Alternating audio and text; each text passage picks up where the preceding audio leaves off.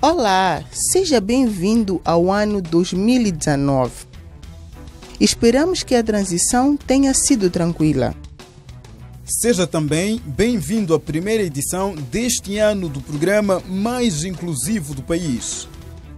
Esta edição é dedicada aos momentos marcantes registrados pelas lentes da TV Surdo em 2018. Começamos esta edição mostrando um momento histórico para o primeiro canal de televisão inclusivo do país. No primeiro ano de exibição do programa da TV Surdo, o jornalista Abdul Rahman é eleito o melhor jornalista desportivo de 2017. A acessibilidade nos recintos desportivos na cidade de Maputo é o tema da reportagem que levou Abdur Rahman, jornalista da TV Surdo, a vencer o prêmio Jornalista do Ano para a categoria de televisão. O anúncio foi feito na gala de desporto realizada em Maputo. Na sua primeira aparição numa gala desportiva, Rahman era um homem duplamente satisfeito primeiro pelo prêmio e segundo por ver uma peça sobre pessoas com deficiência a ser reconhecida. O sentimento é de alegria. É, pela primeira vez, é, o governo tem reconhecido é, minha peça, neste caso que fala sobre acessibilidade. Na ocasião, o escriba do único canal inclusivo do país atribuiu mérito ao trabalho coletivo. O, o, o, prêmio não vai só para mim, é, vai para todo o grupo da Sur, que dia a dia nós é, fizemos o trabalho é, para mostrar à sociedade é, que nós, apesar de termos nossas limitações, podemos fazer alguma coisa na sociedade. Nós só queremos oportunidades. As pessoas com deficiência querem oportunidade para mostrar à sociedade que vale o que vale. O melhor jornalista desportivo de 2017 aproveitou o momento para enaltecer o valor da inclusão social.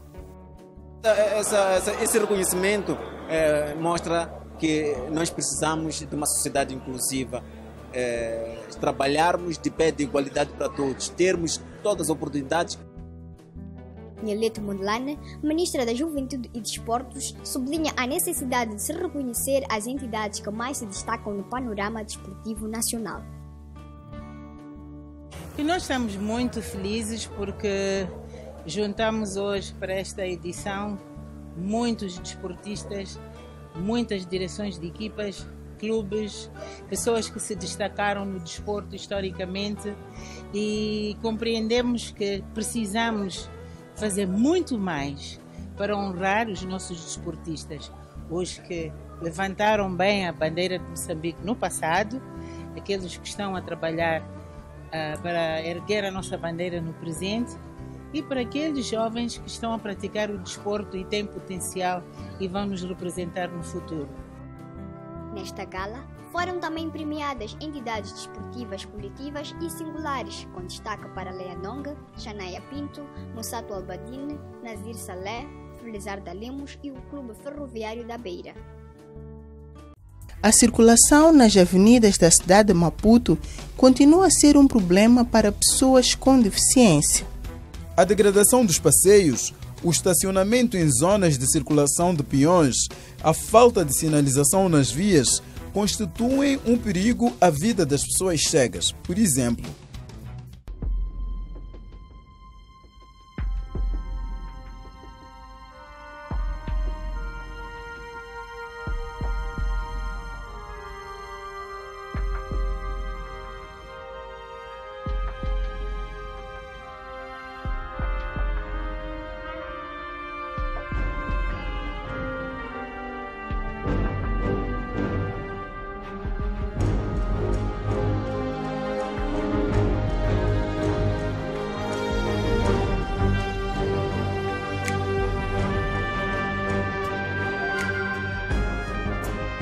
cenário é este nas artérias da cidade de Maputo.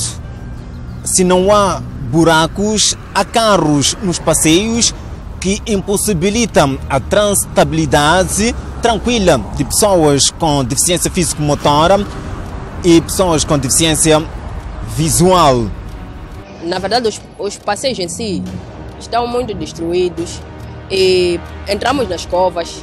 Às vezes há valas já abertas ali e aquelas covas não foram cobertas. E quando a gente caminha, a bengala não vê como muitos pensam. quando a gente caminha, eu posso bater para o lado esquerdo, enquanto no lado direito, a um passo, posso entrar na, numa cova. E isso acaba nos causando, além de uma deficiência, duas, porque acabamos torcendo o pé. Laurentina Matimbe é um exemplo do risco de caminhar em lugares sem acessibilidade para pessoas com deficiência. Ela torceu o pé por duas vezes. Pessoas estão a me ver e eu a caminhar e quando subo outro pé, outro pé ficou do outro lado e acabei entrando numa vala e torci o pé. E da segunda vez foi mesmo no passeio onde estava cheio de covas, pedras. Bati-me com, com uma das pedras e acabei me aleijando o pé. Acessibilidade não significa eliminar barreiras, mas permite que as pessoas com deficiência tenham condições de andar com autonomia nos espaços públicos, fato que não se verifica, por exemplo, quando viaturas estão estacionadas nos passeios ou quando vendedores exercem a sua atividade nestes locais. Às vezes somos, eh, somos nós temos que entrar na estrada, andarmos junto com os carros, porque os próprios carros estão estacionados nos passeios. Então nós somos obrigados a entrar na estrada, caminhar na estrada com aquele todo perigo. Estamos perante violação de duas posturas, a postura sobre a ocupação de espaço e a postura sobre a venda ambulante em, em, em, lugares fixos, porque os passeios não foram concebidos para venda, mas sim para a transitabilidade de peões. Agora, de facto, temos muitos casos em que as viaturas estacionam sobre os passeios, impedindo a transitabilidade dos peões, que muitos desses peões locomovem-se através de carinho, são deficientes. E o que está em causa aqui, não obstante termos esta problemática, porque há problemas certos de espaço de estacionamento, estamos cientes disso, mas também o estacionamento sobre o passeio é uma outra irregularidade. É, há casos em que nós ponderamos certos casos, em que as viaturas estacionam sobre o passeio, obstruindo totalmente o passeio.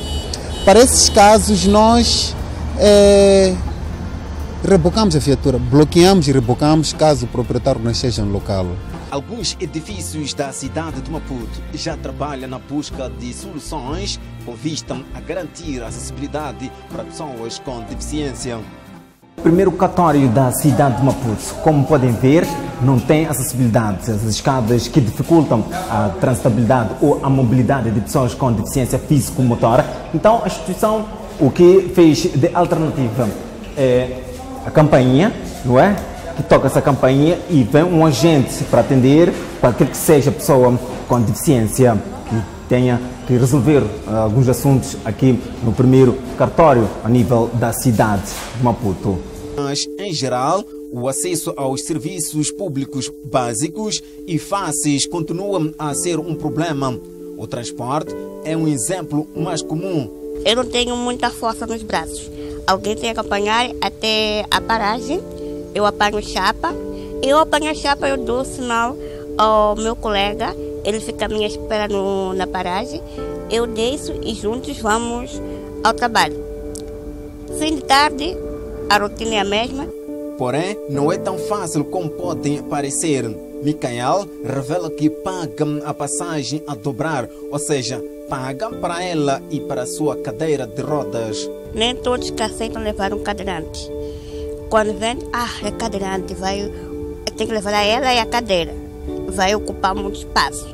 E quando é assim, eu todo santo dia tenho que pagar a minha cadeira e a minha pessoa. Acaba sendo puxado no valor. Isso eu, os transportes que mais facilitam para mim são os vulgos chapa 100.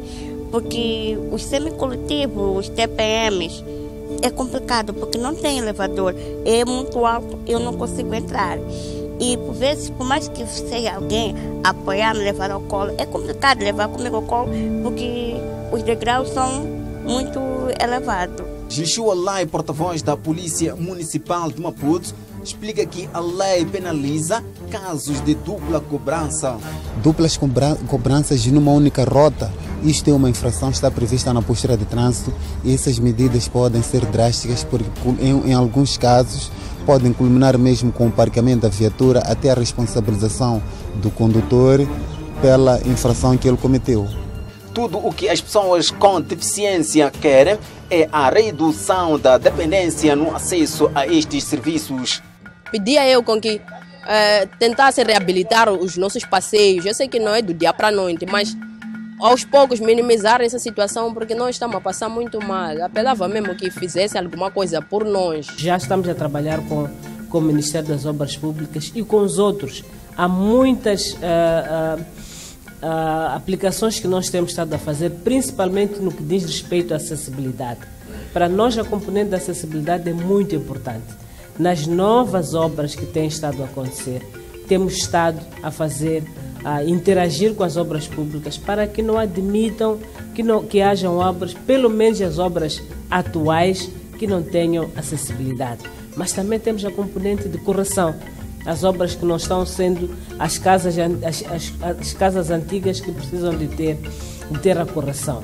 Mas aqui temos que ter em conta a componente dos prazos, a implementação dos prazos que devem ser, que devem ser cumpridas. E aqui são convidados todos os atores, porque enquanto nós fazemos as políticas as e a implementação, os atores de cumprimento dos prazos também devem, devem agir. O acesso à informação ainda continua um desafio para pessoas com deficiência auditiva. O facto é que as notícias divulgadas nas televisões moçambicanas não são inclusivas, o que deixa as pessoas surdas desinformadas. Na imagem, muito facilmente pode-se concluir que a moça está a acompanhar um programa de entretenimento num canal televisivo moçambicano.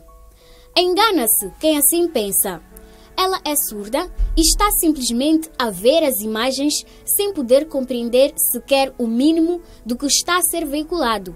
Acontece o mesmo em programas informativos. Quando passa a informação na Miramar às 20 horas, eu pergunto o que está a acontecer. Se for assunto de assassinato, a avó me manda esperar, depois tenta me explicar, mas eu não consigo perceber. Ela só consegue aceder à informação veiculada na televisão quando a sua avó serve de sua intérprete. Em algum momento ela diz que na TV estão a falar sobre assassinato, assuntos relacionados com HIV ou namoro, coisas que devemos ter cuidado e ela tem me aconselhado a não voltar tarde a casa. Em termos de comunicação, ela conversa com elas falando através de sinais. A pequenina aqui até brinca com ela, corre. E ela sabe também gesticular, a pequenina. Mesmo o tio também gesticula, porque aqui só vivemos entre nós com o tio.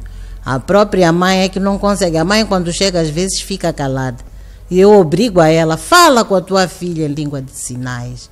Tal como Maura, Armando Matula também depende de seus familiares para aceder à informação publicada na televisão. A comunicação com os meus familiares tem sido muito reduzida. Com a minha mãe é mais difícil ainda, mas com a minha irmã tem sido um pouco fácil. Zarascamos, né? Zarascamos só para podermos falar com mas sempre há dificuldade. Difícil é imaginar a quantidade de riscos a que estes jovens estão expostos, simplesmente porque ouvem com os olhos e não com os ouvidos.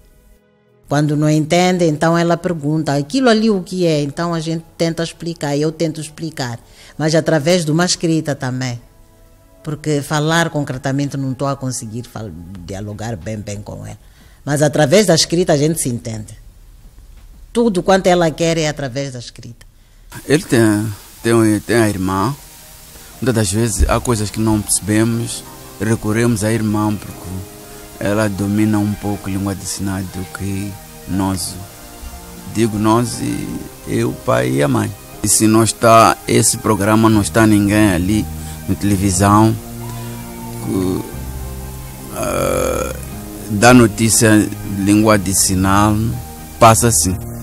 Contactados pela nossa equipa de reportagem, as televisões nacionais alegam falta de dinheiro para pagar intérpretes de língua de sinais. Efetivamente, eh, ainda não chegamos a essa etapa. É, não é que haja algo de extraordinário que é, proíba ou que impeça que a gente chegue a essa etapa. É, é, um, é um processo que acredito que esteja a ser avaliado. Contratar pessoas para trabalho a esta altura não podemos fazê-lo porque não temos cabimento orçamental. Porém, estas televisões asseguram estar a fazer esforços para garantir a inclusão da língua de sinais, pelo menos nos programas informativos. Nós, a esta altura, estamos a trabalhar para ver se identificamos, uh, não só dentro do Ministério, como com outras parcerias, pessoas que possam ser suficientemente uh, em número uh, necessário para cobrir não todos os programas, porque nesta altura seria uh, bastante complicado, mas talvez aqueles programas que são programas de eleição a nível da televisão de Moçambique. É um processo que é, é, acredito que seja irreversível. Mais tarde ou mais cedo poderemos eventualmente enveredar por esse caminho também. A inclusão da língua de sinais, pelo menos nos programas informativos, deve ser uma das prioridades dos canais televisivos nacionais. Por exemplo, os surdos não sabem o que é noticiado a seu respeito por ocasião da celebração do Dia Internacional da Pessoa com Deficiência. Um outro problema grave são as dificuldades que os surdos têm para se formar, pois as escolas moçambicanas não são inclusivas. E a consequência imediata da falta de formação profissional é a falta de emprego. Veja na reportagem a seguir algumas histórias de sucesso de pessoas com deficiência no que diz respeito ao emprego.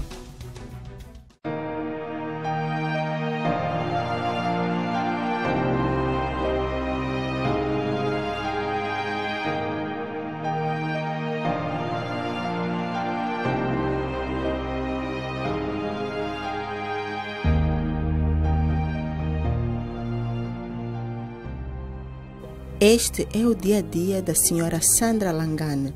Ela adquiriu a deficiência físico-motora ainda criança, depois de lhe ter sido administrada uma injeção.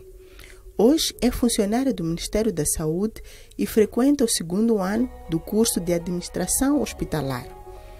Ela conta que conseguiu emprego através de concurso público. Disseram para eu meter, submeter a documentação. Meti e foi aprovado e ligaram para eu vir começar a trabalhar. Isso em 2009. Sandra revela que a deficiência não impede de executar as suas tarefas, até porque sempre que pode partilha algum conhecimento com os seus colegas. Quando comecei a trabalhar, estava a trabalhar no PBX. Então, aqui onde eu estou, estou desde julho mas trabalho está, está tudo bem. Aqui tinha um pouco de dificuldades, mas as colegas ajudaram, mostraram uma outra coisa. Com a colega Sandra temos um bom relacionamento. Ela é uma colega muito simpática, assídua e tem se apresentado muito bem com, conosco. A relação é saudável. Tudo que eu sei em termos de PBX foi ela que me ensinou então foi uma valia estar ao lado dela. Outro exemplo de superação é Carol Chiao. Ela adquiriu a deficiência aos 16 anos, vítima de baleamento, e neste momento trabalha na Universidade Eduardo Mondlane.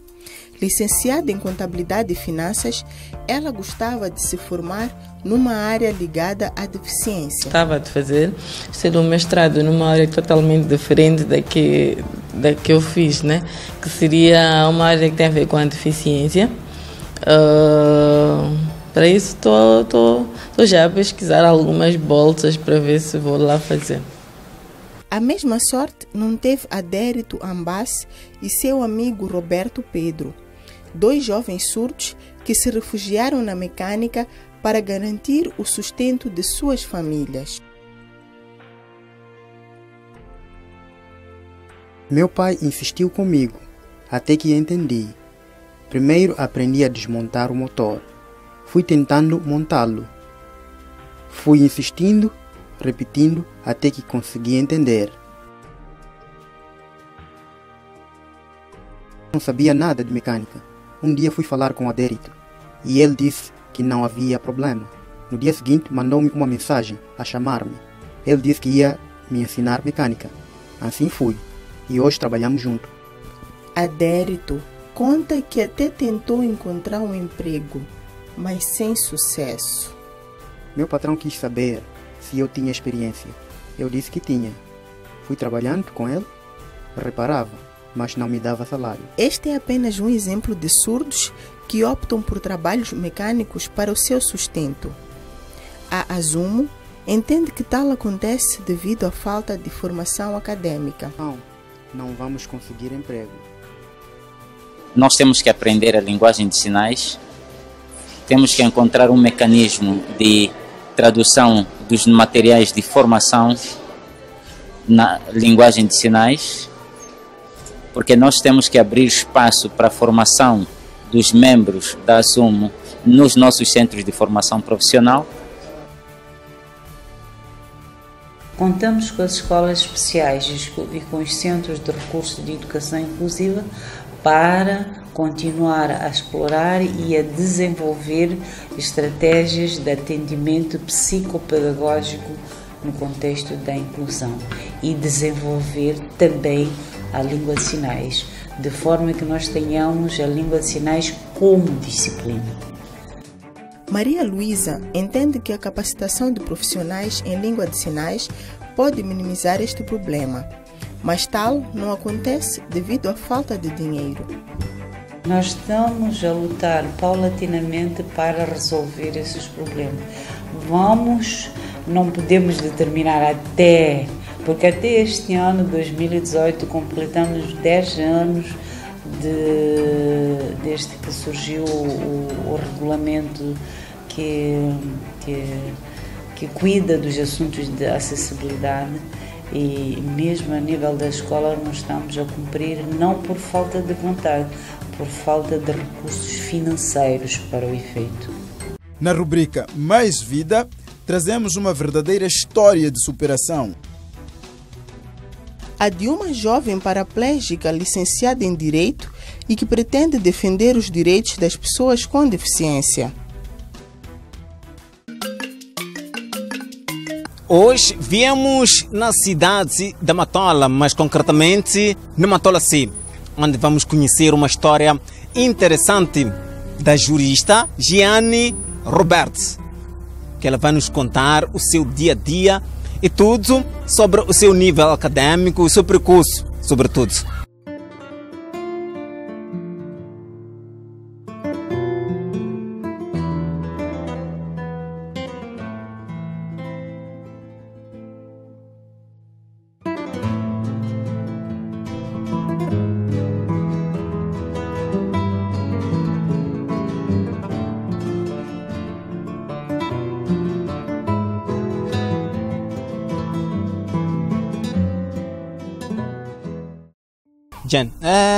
Fala-nos um pouco do seu dia a dia. Atualmente estou a trabalhar numa empresa, fornece serviços ao Porto de Maputo, faço trabalho de tradução, porque a empresa é, vamos dizer, é, é internacional, né? Tanto que tem esse nome de que é no Time. Então, os documentos que deles geralmente estão todos em inglês, nós temos que traduzir por exemplo, as políticas da empresa. Gianni Roberto nasceu prematura e teve paralisia cerebral. Ficou na incubadora durante dois meses para recuperar o peso. Sua mãe frequentava o hospital de três em três horas para poder amamentá-la. E fomos verificando ao longo do, dos meses que, que ela tinha um, um desenvolvimento muito lento. Não segurava a cabeça e as funções motoras eram limitadas. No início eu lembro que nós, meu marido e eu, tivemos que fazer a sessão de, de psicologia, uhum. terapia, né? Porque há sempre aqueles, aqueles conflitos que, que é normal. Exato. Nós, é uma coisa nova, nós não conhecemos e achamos que o outro está a fazer mais, uhum. o outro faz menos. Exato. Então foi assim, mas no fundo tudo isso ajudou-nos a, a sermos mais unidos, a, a, a lutarmos pela mesma causa, a procurar melhores ajudas. Exato. E, e, e a ter noção de que nos esperava, né? Que é para ultrapassar as diferentes fases. Porque... A infância de Giano foi muito conturbada. O amor dos pais e apoio de familiares fizeram as coisas tornarem-se simples e transformarem Giane numa jovem de conquistas. Disse que uh, leu o livro, uh, que ficou uh, sensibilizado com a história e decidiu fazer o curso de Direito. Conta-nos um pouco do teu historial, entrada na faculdade. Cheguei lá não havia ainda. As rampas. Assim, as rampas. Esse é um desafio. Esse é um desafio. E, e, e nós estávamos no andar onde havia escadas. Então, tínhamos que pedir ajuda aos colegas para subir e descer. E, e sabendo que a, a, mobilidade em termos de escrita no, e nos testes, como é que faziam os docentes? Eles acabavam votando por causa dos apontamentos. Nunca tinha tudo completo, né? Então eles diziam, ah, no teu caso vamos fazer uma exceção, onde é 90 vamos fazer 120, e muitas vezes faziam, se, se eles por exemplo, havia testes de estatística e matemática que é mais números. É mais números, é. As pessoas podem dizer, não, não precisa mostrar o passo a passo, só, só mostra, por exemplo, não, os por exemplo, falta o primeiro segundo, não precisa ir até o, ao sétimo passo, porque eu vou saber apenas do primeiro e segundo, é, vou tentar vezes diziam se mostra o teu rascunho. Então, o rascunho, que é mais fácil assim, eu vejo qual foi o teu o raciocínio até chegar lá. Licenciada em Direito, Gianni deixa seu ponto de vista sobre acessibilidade e alimenta sonho de um dia poder trabalhar com a área de Direito. Leis em si existem. O problema que eu vejo como jurista e como como pessoa deficiente é que simplesmente a, a, a maior parte das vezes não, são aplicados. Sendo assim, o que acha que deve ser feito para que essas mesmas leis sejam implementadas na sua plenitude? Eu acho que deveria haver um, umas sanções para que não, não aconteça. Por exemplo, vamos dizer, aos locais públicos. Deve ter acesso a todos, né? Nós talvez somos cidadãos do país, mas não há nenhuma penalização, nem multa, nem nada. Os, os outros países, a pessoa vê que quando há essa, há essa como dizer, lacuna, entre aspas, há penalização, ou, ou paga uma multa, ou se, assim, tem que haver fiscalização primeiro e tem que haver. E depois é que pode haver a finalização. Já, para terminar mesmo, é, qual é o sonho de Jen? Exercer a, a, a, a profissão é. de jurista. De jurista. Pois é, hoje conversamos é, com a Giana, não é isso? Pronuncia bem? Roberto, que ele é jurista é, e o amigo, o amigo telespectador acompanhou atentamente a nossa conversa. Com esperança de ter gostado não é, eh, da conversa que tivemos hoje no seu espaço Mais Vida, nós eh, voltamos eh, daqui a sete dias. Depois desta reportagem, houve uma empresa que se ofereceu a empregar a Gene. Esperamos que tudo tenha corrido bem. Para terminar a presente edição, importa referir que o jornalista Abdul Rahman fechou o ano tal como começou, em grande. Em dezembro último, ele foi também distinguido por duas vezes.